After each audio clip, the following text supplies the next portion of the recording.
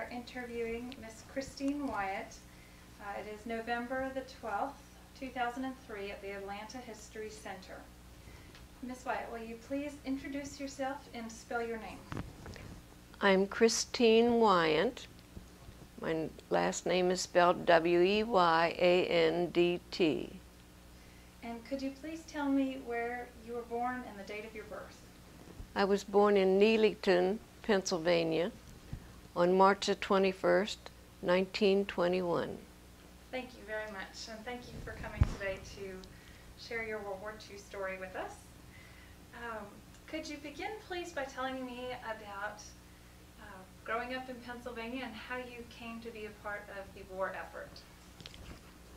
Well, um, I led a very uneventful life, well, and a happy life. I had a good childhood. Uh, even going through the Depression, I wasn't too aware of what, you know, what was being deprived of, of anyone. But December the 7th, 1941, changed everything. Um, my friends were leaving for different branches of service, and there were all kinds of changes made in uh, the food we re- could buy, clothing we could buy. How old were you at that time? I was uh, uh, tw- uh, 20 when uh, it things started changing, and but there was all that turmoil in Europe before Do the Japanese struck. December 7th specifically and when you heard the news? Oh yes, Could you tell me a little about that, please? um, we were very excited because uh, my parents' first grandchild was born that morning. We heard that Eric had arrived, and uh, we had just got home from church, and my dad turned on the radio, and we found out that the Japanese had bombed Pearl Harbor. We knew there were islands called the Hawaiian Islands, but Pearl Harbor didn't mean anything to us. But things heated up real fast. And uh, then we, uh, everyone pitched in. There was a lot of unity. Uh, everyone wanted to do something. The Red Cross offered courses, and we uh, did everything we could to volunteer. Uh, there was ration- rationing, and then recycling. What do you recall being rationed? Oh, sugar, coffee. Uh, uh, you were lucky to get a pair of silk stockings. That was before we had the nylons. And uh, meat was scarce. You had to make sure you knew the butcher to be there on a specific time to get meat. And uh, offhand, that's all I can think of right now. But later, more things became hard to get. And did you know friends of yours that were going into the service? Oh, when they were yes, yes. And those that were in college were uh, enlisting in, uh, with the understanding that they would be able to uh, finish, if not their uh, degree, at, least the year or semester that they were in. So uh, most of my friends were hit, and then when the draft came along, uh, and my kid brother was 18 and he hadn't finished high school, and my mother fretted a lot. Was he drafted? Uh, yes, he was. What was his name? Durrell, Darrell Moore? Durrell Moore. And uh, he, uh, but I wanted to get into service before he did.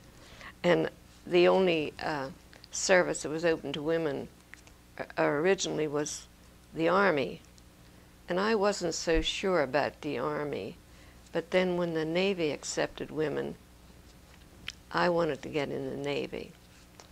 And uh, after a lot of effort, uh, I had my physical examination done at, by my family doctor and sent my application in to the recruiter, and they refused me because I weighed uh, about 104 pounds, and uh, they said I had to weigh at least 110. And after that refusal, refusal, I tried to do everything to gain weight. And uh, When was this that you had applied to the Waves? in 1942, and uh, I, I w- anyone would tell me something that would put weight on me, I'd try it. And one thing was to take whole cream and mix it with um, um ginger ale. And I hit those pretty hard for a while, and all I did was end up by upsetting my stomach and uh, lost what weight I had gained. But then I took it gradually, and I got my weight up, I guess, to 109. And I wrote to the recruiter in Pittsburgh, and I gave him my story that I tried, but I couldn't gain weight, but I was, you know, healthy, and I wanted to go into the waves. So Did you know anybody who had gone into the Waves? No. Did you friends that were No. well? There were some that were in the uh, WACs, but uh, that was the Army, women in the Army. But uh, there were no waves.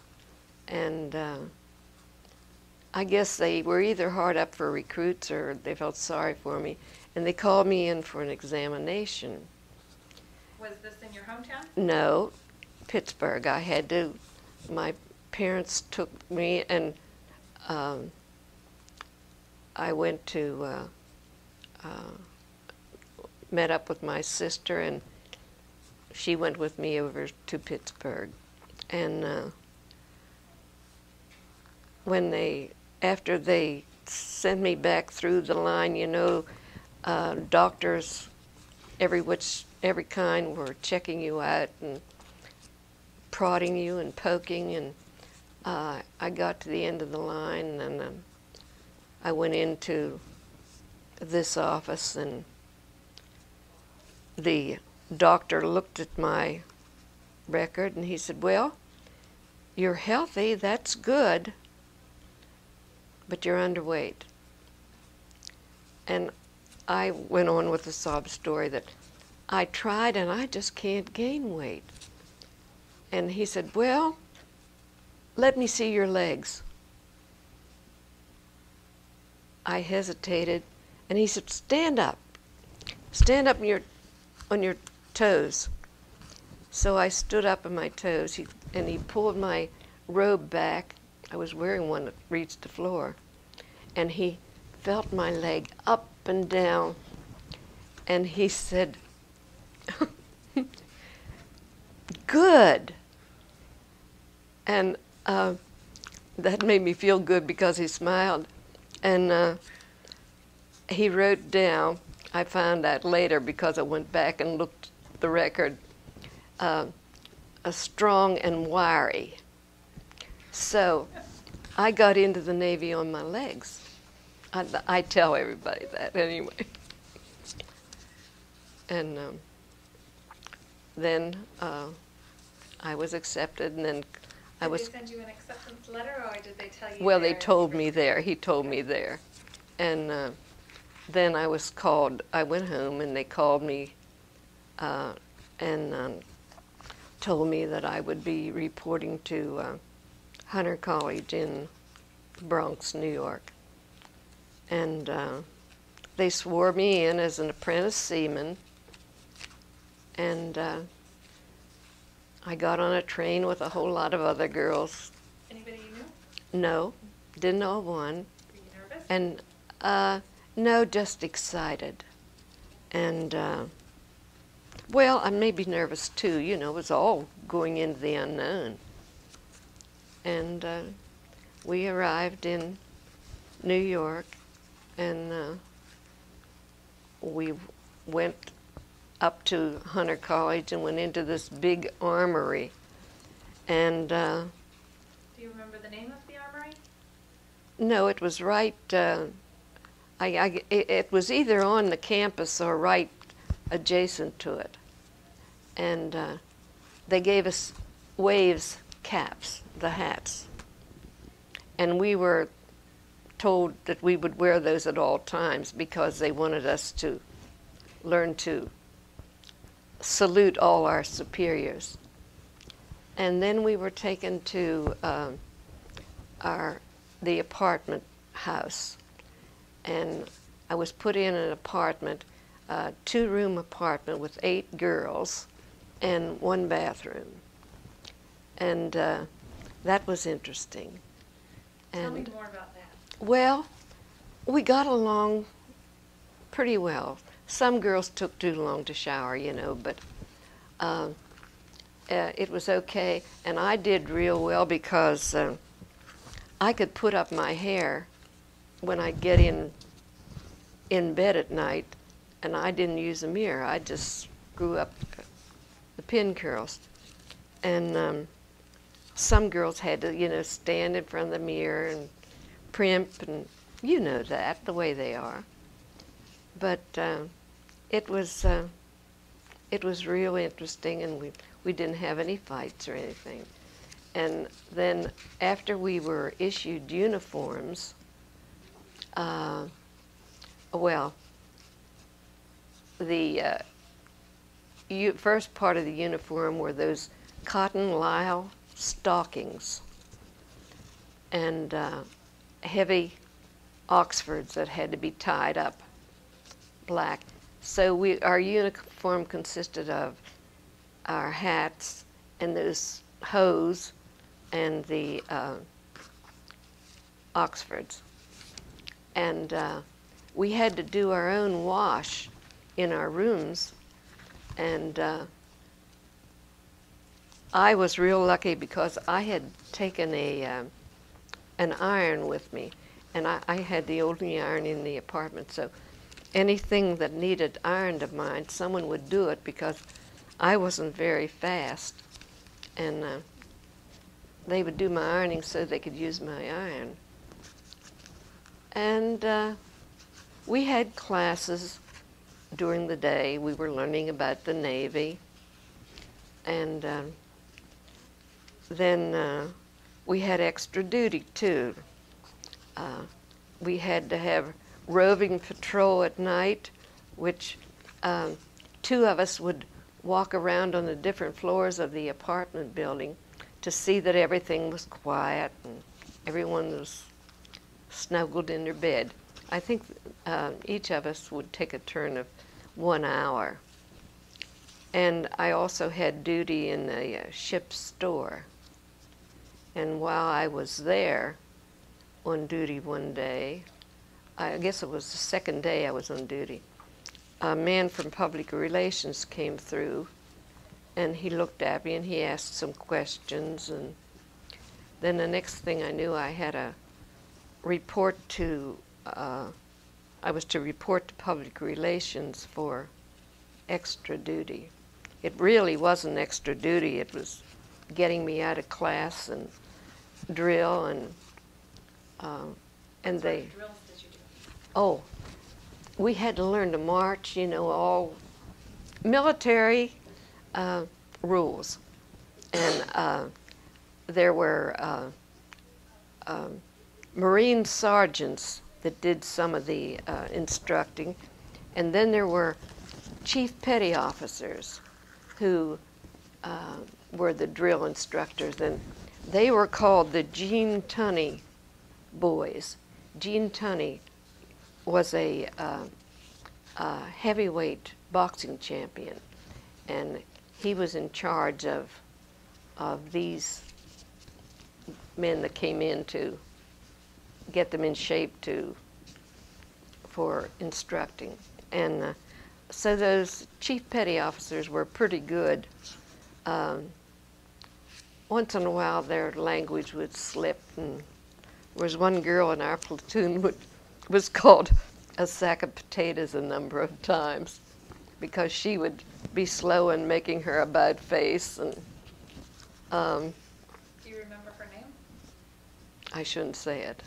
No, I'm not going to say it. Francis Swan. Um, but uh, it was fun. But uh, then, um, So when you went to the PR office, you reported to the PR office. What happened then? well, they took me out on uh, um, publicity shoots. Uh, one time we went to uh, Bronx Zoo, and uh, um, I don't know what this was going to do to get women into the Navy, but uh, they had me ride a camel, and I was scared to death. At least I looked scared to death when I saw one of the pictures later. And then another day they took me, uh, I think there was one other girl that time, uh, to Central Park, to one of the lakes, and they had a sailor there who rowed a boat with me in it. And then another time, uh, we went down to the battery and then got on a boat over to the uh, Statue of Liberty. And I saw one of the pictures that was taken that day. Um, they had two of us perch on a, the rail of the boat with the Statue of Liberty in the background.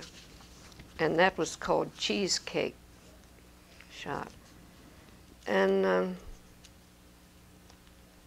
that, that, that was the only pictures, other than, you know, just along the way.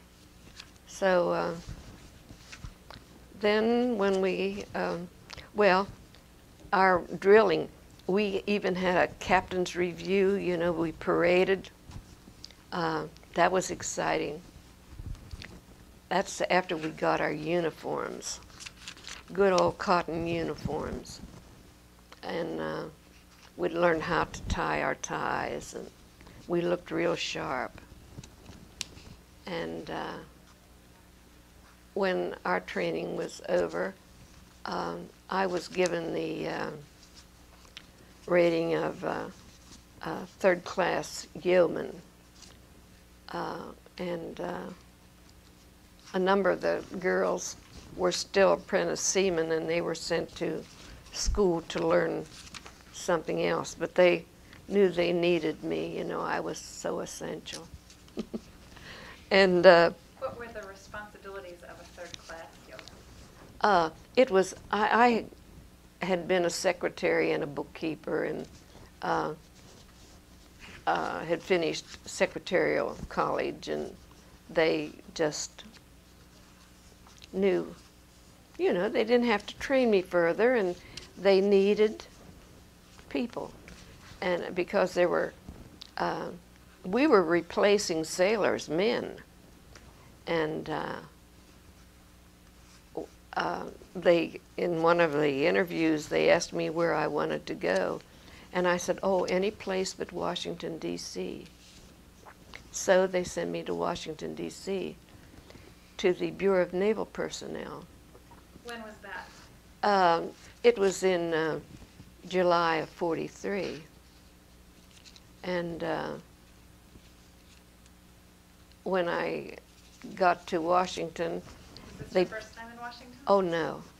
They had taken us by troop train. I'd never been on a troop train from uh, New York to Washington.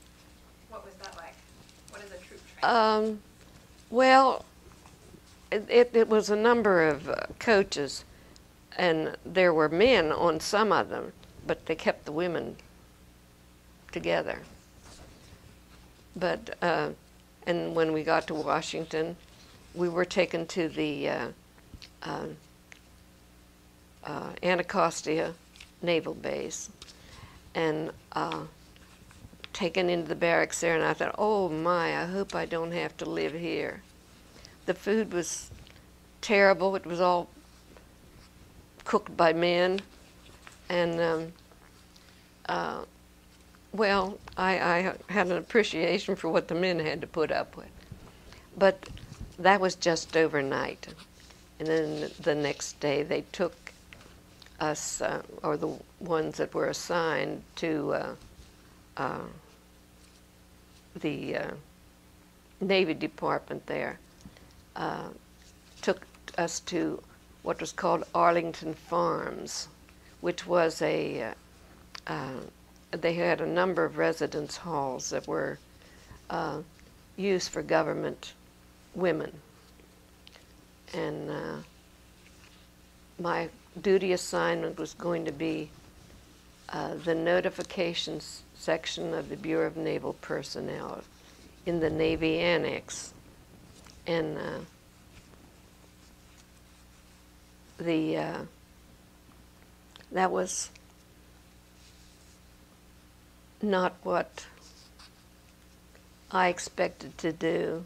What did you expect to be doing? Well, I thought something exciting and fun, but in the notification section of casualties, we received the casualty reports, the missing in action, the killed in action, the wounded, and it was our job to receive those messages and uh, take the man's service record, find out who his next of kin was to be notified, and we were the ones who would send out the letter. The Navy Department or the Secretary of Navy regrets to inform you your son so and so was killed in action. And uh, the war became very real to me then because these were people with families, loved ones that were going to miss them. And if they were missing in action, they would worry about them because I knew what my mother was like. And um, so it was real hard for me for a while to get to the place that I could really do the job, I thought, efficiently. Well, I won't say that efficient. I think I was efficient all the time because I took it very seriously. But it was um, it was very hard for a while. And uh, Tell me about a typical day. Well, I'd get up in the morning and maybe go to the uh, um, mess hall. Well, we didn't have a mess hall then, to the cafeteria and get something to eat or drink, which wasn't very often because I didn't like to eat in the morning. I'd wait until we had a break time to go and have something to eat. Uh, but you get dressed in uniform and uh, sometimes, if the weather was bad, uh, I would take a bus. And back then, it was a 10 cents or a token. Uh, you could get three tokens for a quarter. Take the bus to work. And if it if I had the afternoon shift, sometimes I would walk with friends through Arlington National Cemetery, which was a cut through to get to the Bureau of Naval Personnel. And um, then at different times, well, I started out, I had to make cards that were records of, of the casualties because we had, uh, we didn't have computers back then. We had card files of the people who were casualties and uh, then folders of, say, any ship or uh, a battle that had a number of, of ships with casualties uh, in, in a separate room. And that was classified. And uh, when I was, uh, everyone who handled classified documents had to have a, an FBI background check. And uh, when the FBI checked on me, of course they had to go back to the small town and question everyone. Voices were supposing this and that about me, and they didn't know what was going on with Christine Moore because the FBI was there checking on her. But anyway, it was because I handled classified documents. Uh, uh, I, after uh, a while, I was put in a position where the uh, documents were received and uh, they were coded and uh, a list was made of the names and then the service records had to be pulled from our record center there in the same um, building in a different wing where I worked. And uh, they were distributed to the different uh, typists or other yeomen in the area. And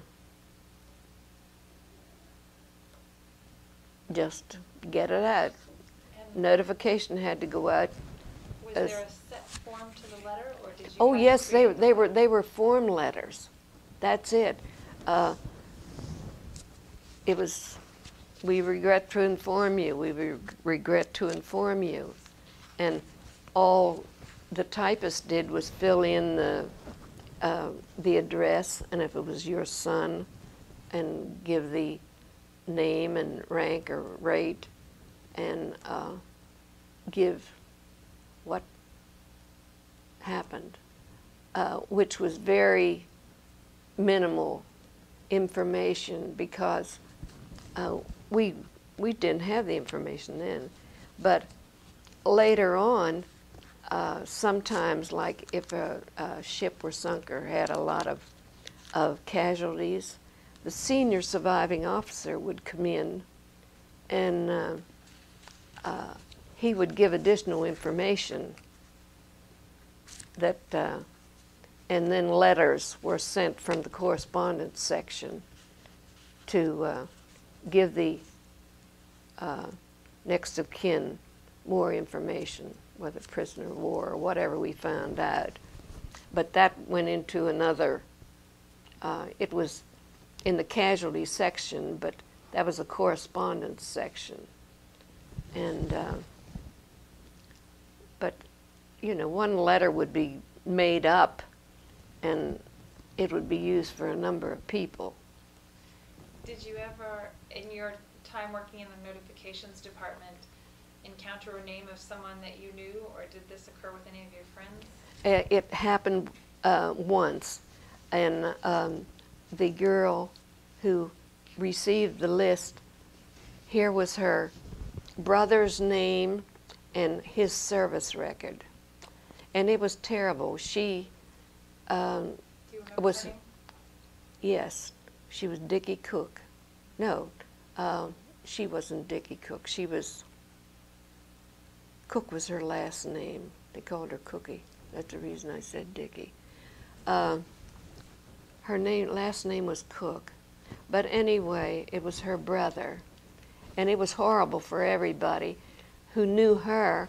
I didn't know her brother, but they, um, the brass got on the ball then, and uh, any had anyone that worked in casualties to give the name and the uh, service number of anyone they had that was in service, you know, that a close friend or relative. And then they put that information in the man's service record so that it could be seen before it got to any individual. And uh, it was so good that they flagged them, but it was a little bit late. Uh, and uh, then uh, it was a, as I told you, that we replaced men, and uh, I guess some men resented the women coming in and taking their jobs, but I never had that. The men that I worked with were always kind and uh, uh, considerate, and you know, were anxious to teach me all that they could, and uh, so I never ran across that. I just one of those things you hear about. And what was the sort of spirit or feeling in Washington at that time? Well, everyone was doing their job and wanting uh, to do whatever they could. There was no, um, there wasn't resentment. Everyone seemed to be pulling together. There was a, a unity everywhere, and uh, but it was a busy place, and. Uh, lots of service people. Uh, Washington, I guess, was a good uh, leave, or uh, what do the Army call it? It's leave for the Navy. Uh, the fellows from Quantico and uh, what other places? The uh, Anacostia Naval Base and there was Bolling Field, which was the Air Force, Army Air Corps. But uh, it was filled with military people. Did you all have a chance to interact socially? Well, we could if we wanted to, but I had my own friends that I was busy writing letters or um, if they would go through town, I'd meet them. And uh, with with the women that I uh, shared time with, we mostly had someone who meant a lot to us, or maybe some ones. It may, may not just be one because we, uh, you know, try to keep Bull happy. that isn't nice. But, you know, we had lots of friends. Uh, I had a, a, brother in the Air Force and a brother in law in the Navy, and I had uh, a couple friends in the Air Force, and the man that I married was in the Marines, and uh, so I, I didn't. Um, really, I, I did go to some dances that they had, you know, at certain places that, uh, there was one at Georgetown, once I remember, and uh, where was the other one that I remember doing, going to? I didn't enjoy it because I, you know, I didn't know the fellas. That wasn't my cup of tea. We would sometimes go up and rent a canoe and canoe in the Potomac or get bicycles out on Hains Point and uh, what else do we do? Um, uh, go down to Mount Vernon and uh, so, uh, You mentioned having some girlfriends that you spend a good amount of time with. Um, would you care to tell me their names? well, um, Eileen Pierce, I guess I was with her longer than anybody. But then Eileen was one of the early waves who volunteered for service overseas. And she went to uh, Hawaii. And she had a great time in Hawaii. She was attached to Commander in Chief Pacific Fleet, CINCPAC. And uh, uh, she uh, she was a from a Swede from Minnesota, and she was so funny. She would uh, use this Swedish accent. And uh, can I tell a dumb joke? She said once the uh, the girl was at a dance and she was asked by a fella to dance and she said, "No, I don't think so. When I dance, I sweat so. no, I don't think so." but Eileen could really use the Swedish accent, and uh, but uh, And are you still in touch with Ms. Pierce? uh, Christmas time, and uh, the um, let's see what else. Oh, there were. I had my first um, migraine headache when the Indianapolis was sunk. That was at the, toward the end of the war, and um, there were over 900 men lost. And uh, the Japanese had surrendered. We'd already dropped the two atom bombs. And uh, we had to get that notification out to the next of kin before it got on um, radio or in the newspapers. And uh, And so we. why did they not know about the Indianapolis at that time? Well, uh, it was out in the Pacific, and anything that happened that uh, uh, any uh, anytime the uh, enemy uh, did anything, it was a while before the information was given to the public, because that's one reason why handling classified information you had to uh, they had to check your background because you know there was the um, you don't know but the sign the uh, it would show Uncle Sam with his finger up to not uh, talk.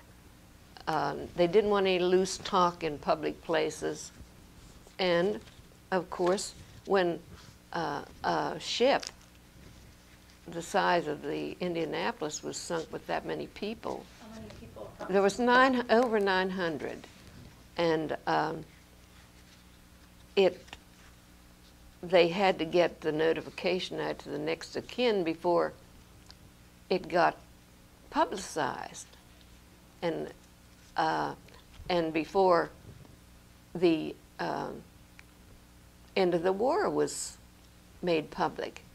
So we worked around the clock. Uh, up until that time, we had two shifts, and we would go to work uh, daytime from 8 to 4 one week, and the next week it would be 4 till 12. Just every other week you were on a night shift. But uh, that we worked around the clock as much as we could and uh, to get that notification out. And then after uh, the Japanese surrendered, uh, there were all of these um, cases that were listed men missing in action, and something had to be done about changing the status of those. And there was uh, um, one of the officers that I had worked with in notification was sent in there to help make determinations on these people who were missing in action, to review the cases, get all the information they could, uh, the muster rolls of the last sailing and that, because there were a lot of submarines that were, uh, the crews would be listed as missing in action because they were overdue. You know, they had left one port and they were due at another port and they were overdue. So when, after a certain length of time, if they were overdue, they had to uh, come to the conclusion that they were missing. So um, these, um, they were mostly lawyers in this group, would get all the information they could together, and then they could make a determination to change that person's status from missing in action.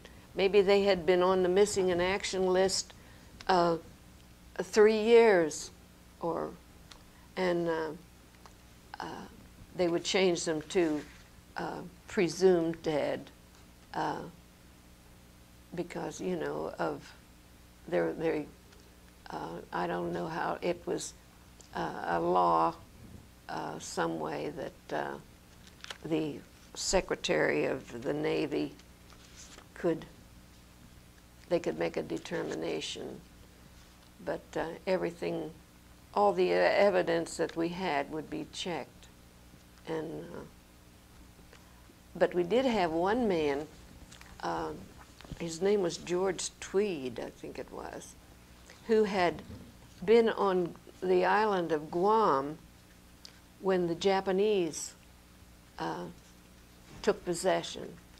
And that man stayed on Guam until the uh, United States went in and drove the Japanese out. And he, uh, he's the only one I know that was missing, and uh, he came back. So how long did you stay in Washington with Wade? Well, um, I was ready. My husband came. He wasn't my husband then, but he came back in October Of uh, 45. But what is your husband's name, please? Thomas Weyandt and um, I wasn't. I did, wouldn't have enough points until February. What sort of points? Well, you had to have been in service so many months. Uh, uh, I can count the months up, but I forget what the service, the number of points was required. And um, but And you had About to the- earn points to have leave? n- no, to be discharged. I wanted to get home because he was already out of the Marines. So he was back in Pennsylvania. Uh-huh. And um, we, uh, I came down with acute infectious mononucleosis. And um, I, I guess there weren't too many cases uh, diagnosed at that time because they sent me to Bethesda Naval Hospital. And that was another experience. They kept me there uh, four weeks. But while I was there, I began to see some of these men who had been wounded in action. And I saw how well they were cared for. That you would see men, you knew that they had suffered from burns because of their, you know, the color of their skin. And uh, there, I'm sure there was an awful lot of reconstruction of faces and uh, limbs. Uh, so that was something else that was, um, it was hard to see, but I was glad that we had the, as much care as was available to give to these men because I'm sure they, they suffered then and they'll suffer for years to come. And, uh, but then uh, And when you got better from mono, um, I, I was discharged. you were discharged. Mhm. And you were happy? Oh, yes, I got married within a month. I've been, it's, and she's been happy ever after. Beautiful. And your husband, when he was in the Marines, where, where was he serving? He was in the Pacific all the time. He, uh, New Zealand, uh, and Bougainville, and his last uh, station was Okinawa. they were getting ready to go into Japan when the uh, bombs were dropped, and uh, so the war was over. But they kept him longer than he wanted to stay, but uh, I guess they needed him.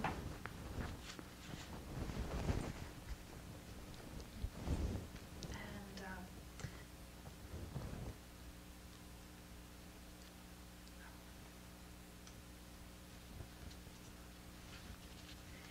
um, um, when you were in Washington DC, did you all have an opportunity to communicate by letters or by telephone? Oh, uh, With your family or with your husband? Uh, oh, I, I could, my family, um, because we were all here in the States, but uh, uh, the man I married, it was only by letters. And uh, it took quite a while for a letter to, Days? oh, longer than that sometimes. And um, um, we had what they called V-mail. Uh, that was, um, I don't know what process it went through, but they were photographed and they could send more letters out like that. And then we had our own franking period, uh, privilege. All we needed to do was write free on the envelope and we didn't have to put a stamp on it. Was that available to all service members? Uh-huh.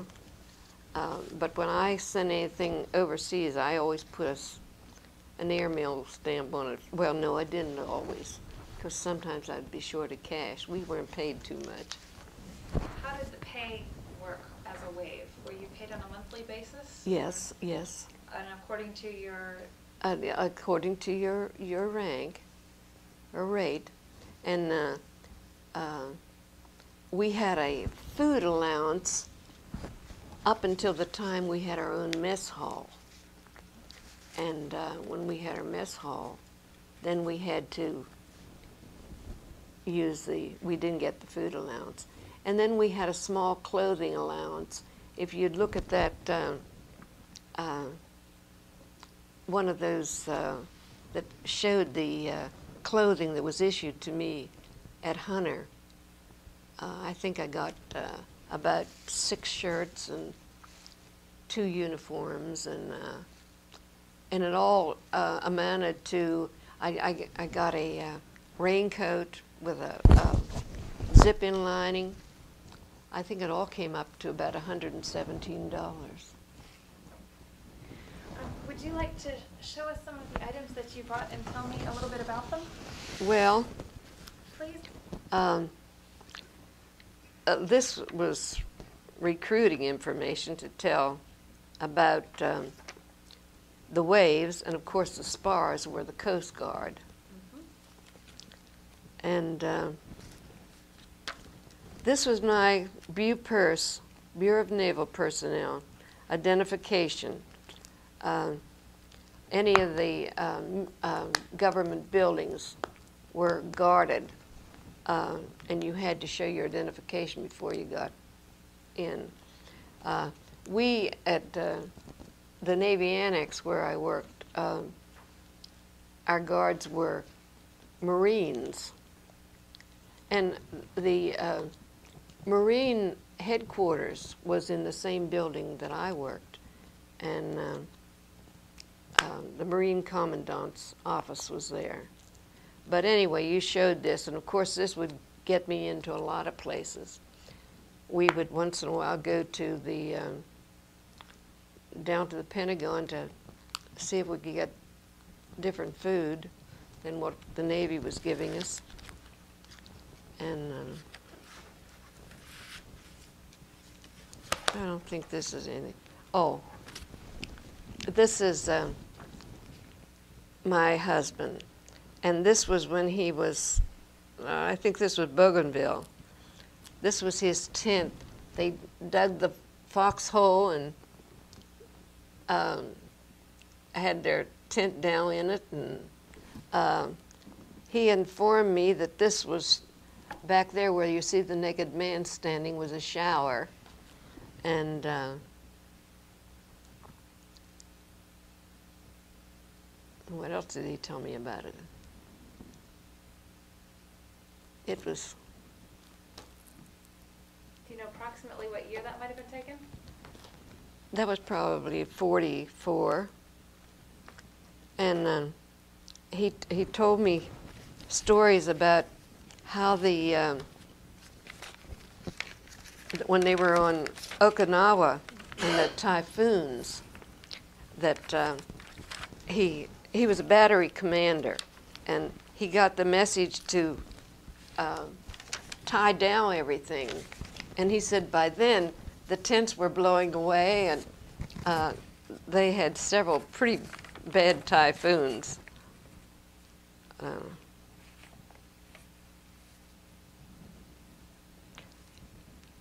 all of my clothes that were issued that first time came to $120.20. Uh, a cotton suit, a raincoat with a lining, uh, one, two, three, four, five, six, ten. I guess there are ten, um, ten shirts in that, and I had two different ties. You had a black tie and a blue tie. You Were they for separate occasions? uh, No, with different shirts. We had a, a uh, reserve blue shirt, which um, uh, took a black tie. Uh, no, the blue tie, the light blue went with that. And then the black tie went with the white um, shirts. And you are sharing your uniforms, is that correct? with the Yes, Atlanta History yes. Center for their exhibition. Yes, Thank you very much. you're welcome. Any other details that you would like to share? I can't think of anything. Do you have some questions? Um, You did a great job. Thank you very much for Okay. your interview, Ms. Weyandt. Okay.